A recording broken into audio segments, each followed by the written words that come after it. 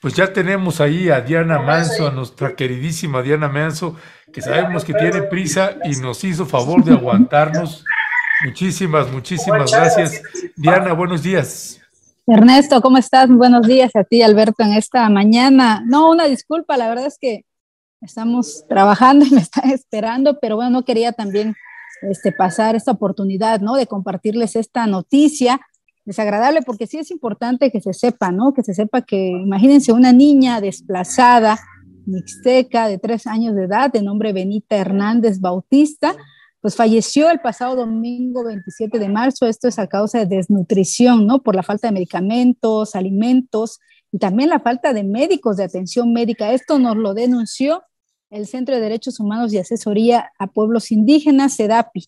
Y bueno, de acuerdo con Maurilio Santiago Reyes, quien es defensor y director de este colectivo, la menor murió en el Hospital Rural IMSS Bienestar de Tlajiaco, ubicado a tres horas de distancia de, de, donde ella se encuentra, ¿no? Donde ella se encuentra, donde se encontraba desplazada, porque en la zona donde se encuentran los refugiados, que es la iglesia principal, no hay médicos ni alimentos. Él refirió que esta menor perdió la vida por la pobreza y la imaginación y pues cuántas muertes más se pregunta Maurilio, ¿no? Ante esta falta de atención de las autoridades. Y bueno, vamos a hacer un, un poco de recordatorio, ¿no? Donde un recuento, esta, esta niña, junto con otras 300 familias, incluida la suya, desde el mes de octubre del 2021, ella es originaria de Guerrero Grande, perteneciente a la comunidad Tatlauca, Oaxaca, pues viven un desplazamiento forzado por la violencia y la defensa del bosque, ¿no? Que ocasionó la quema de 100 viviendas. Pues esta niña, junto con su familia, estaban viviendo prácticamente en un atrio de la iglesia, eh, debajo de lona, debajo de, de, un espacio indigno, ¿no? Para una menor y para, pues, todas estas familias que están esperando que se les, eh, que haya algún programa, un no sé qué que pudiera hacer el gobierno, tanto del Estado como federal, porque pues han transcurrido cinco meses y bueno, pues esas familias siguen ahí. Y el caso de esta menor pues nos debe indignar a todos, ¿no? Porque finalmente esta niña es la menos culpable de estos conflictos de violencia y de defensa de un bosque. Y bueno, y te los digo porque yo ya recorrí el lugar, ya fui a la zona y bueno, y precisamente pues esta gente no tiene alimentos, vive en extrema pobreza y realmente pues para ellas se organizan entre todas las mujeres, entre hombres para obtener algunos granos y hacer sus tortillas, pero prácticamente no es una alimentación digna, ¿no? De una menor que debe tener una menor.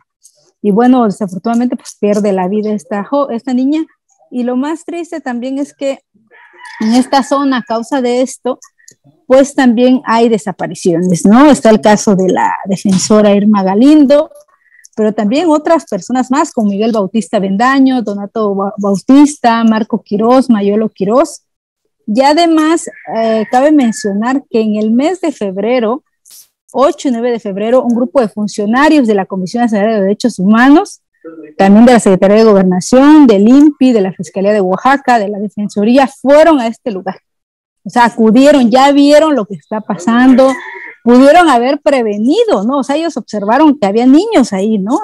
Entonces, este, pero pues no, no hubo, no hubo ningún tipo de apoyo, además de que también la ONU, eh, perdón, la, este, la Comisión Interamericana también ya hizo un llamado, ¿no? Para que estas familias se atienda a este desplazamiento forzado que viven estas familias pero hasta la fecha pues no, ¿no? Estas 300 familias viven, siguen en este lugar que se llama Guerrero Grande y también están en Tlajiaco y otro grupo más de desplazados también está en lo que es el Palacio Municipal de Tatlauca. Entonces, esto, este desplazamiento de estas familias mixtecas, pues ha cobrado en estos momentos por la vida de esta niña, ¿no? De esta niña que por pues no, hay un hospital cercano, ¿no? A donde ellas están, no reciben una alimentación adecuada y pues hoy ocurrió esto y quizá después va a ocurrir otros más, ¿no? O no sé qué, ese es el llamado que, esta, que estas personas, que estos afectados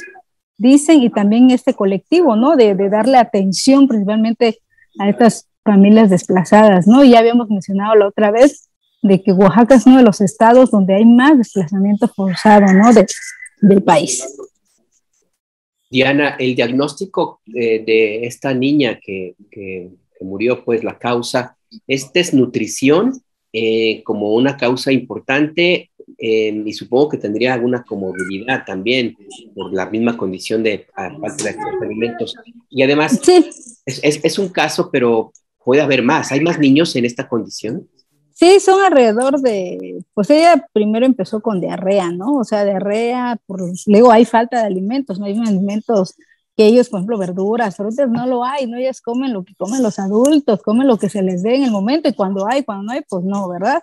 Este, y obviamente hay más niños, son alrededor de, sin mentirte, 100 niños, ¿no? Que están así, entonces, este, o que sus papás tienen que buscar, tienen que, de alguna forma, este, pues eh, salir, ¿no? Muchos, muchos se quedan con la mamá, lo que los papás se organizan para ir al campo y recolectar, pero muchas de estas familias, o casi todas, sus casas se quemaron. O sea, están sin vivienda, ¿no? Entonces viven también hacinados. O sea, las mujeres se organizan para hacer la comida, para hacer el desayuno, pero no es suficiente. O sea, y lo que nos decía Maurilio Santiago era de que les habían dado una despensa. Eso fue en octubre sea, la despensa, pues cuánto dura, ¿no? Quizá una semana, quizá 15 días, no sé. Pero creo que este hecho, esta muerte de la niña no es solo nombrar a Benita, ¿no? No es solo nombrar a Benita, sino es decir que qué es lo que está pasando con esta violación a los derechos humanos y a la salud, ¿no? De niñas, de personas desplazadas y de lo que pueda pasar también, ¿no? Porque pues estos menores pues siguen también, no, están tomando clases, por ejemplo, hay, hay niños que tomaban clases y allí en ese, en ese lugar había como una especie de un ciber, donde los chicos, los chicos que estudiaban la universidad o los que estudiaban la prepa a distancia iban a tomar clases. Se quemó ese ciber. No tienen el acceso, no, no están tomando clases, ¿no? Y eso le digo porque nosotros entrevistamos al dueño del ciber y estaba todo calcinado, pues, ¿no? Todas las tiendas estaban calcinadas. Entonces, esto es como una situación preocupante porque, pues, Hoy perdió la vida Benita, pero ¿quién es más? Pues no, ¿qué va a pasar a partir de todo esto? Ahí eh, el presidente López Obrador en la mañanera cuestionado sobre cuestiones que pasan en distintos lugares, en las distintas geografías de Oaxaca, pues señala que él está cercano y colaborando eh, cercanamente con el gobernador Alejandro Murat. Una cosa es eso y otra cosa es lo que vamos cuando hacemos trabajo periodístico y vamos identificando lo que está pasando en campo y este abandono tremendo que hay a distintos sectores de poblaciones, particularmente indígenas y particularmente desplazados y desplazadas. ¿Qué respuesta hay por parte del gobierno de Alejandro Murat frente a estos hechos tan lamentables que generan, no sabe uno si tristeza o indignación o ambas hay una, una mezcla, una metástasis que luego hay entre este tipo que se, que se sienten y se perciben por parte de los pobladores. Eh, ¿cuál, es tu, ¿Cuál es la respuesta que ha habido del gobernador Diana Manso? Pues mira, ellos acudieron, ¿no? El día 8 y 9 ya fueron al lugar, ya fue la fiscalía, ya tomó las declaraciones, ellos, ellos conocen el caso.